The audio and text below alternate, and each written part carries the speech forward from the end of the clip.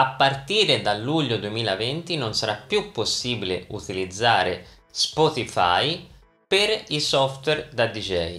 Prima di proseguire con il video ti direi di iscriverti al canale e di cliccare sulla campanellina per rimanere sempre aggiornato.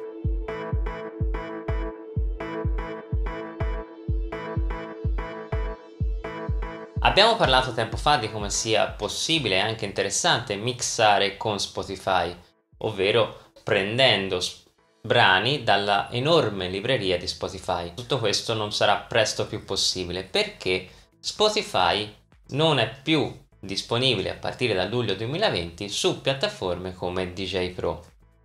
DJ Pro è un software nato nel 2014 come una semplice applicazione per iPad, un modo per mettere un po' di musica anche così, insomma, soprattutto per divertimento. Nel tempo questo software si è molto evoluto, integrando la possibilità di utilizzare Spotify come libreria per i brani e mano a mano diventando sempre più evoluto e anche compatibile con vari controller.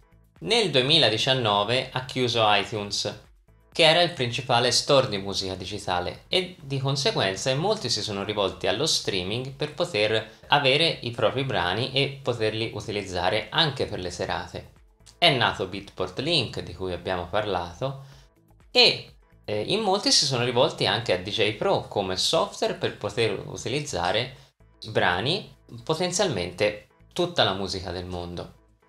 Spotify purtroppo però non può più mantenere tutto questo, un po' per la sua situazione finanziaria complicata, un po' perché l'abbonamento base è di soli 10 euro al mese, che possono sembrare tanti ma non bastano per coprire tutti i costi della ripartizione dei diritti. E anche nonostante ciò, gli artisti si lamentano che Spotify non dà loro un granché nonostante i milioni di ascolti.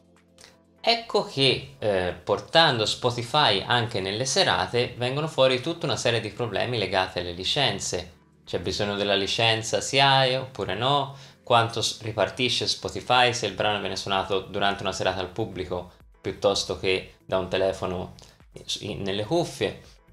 E allora la scelta di Spotify è stata quella di tagliare la testa al toro, ovvero di rinunciare a tutte le collaborazioni con app di terze parti. Cosa succede adesso? Beh, eh, DJ Pro è comunque un software che diventa sempre più interessante. L'algoritmo ha scelto di non rimanere a guardare. Infatti, subito dopo che Spotify non sarà più disponibile, lo saranno invece altre piattaforme. SoundCloud lo era già, si sono aggiunte nel frattempo Beatport Link, quindi con tutta la sua libreria di musica elettronica nelle sue varie forme, e anche Tidal. Tidal è il servizio un po' più costoso di Spotify, ma di contro fornisce musica di ottima qualità, quantomeno audio. E sempre più Tidal sta cercando di prendere il mercato della musica in streaming per i DJ.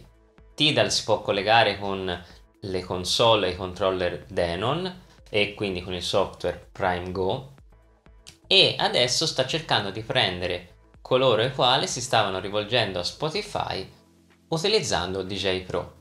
Per chi utilizza DJ Pro e vuole continuare a suonare in streaming, la soluzione è quella di fare l'abbonamento a Tidal, che è di base un po' più costoso, ma può comunque dare l'accesso a una grande quantità di musica un po' di tutti i generi.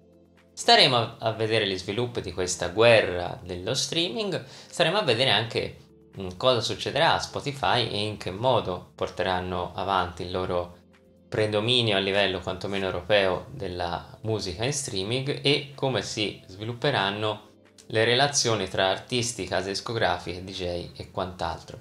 Nel frattempo ti direi di fammi sapere cosa ne pensi nei commenti e continua a seguirmi qui su Essere DJ Oggi.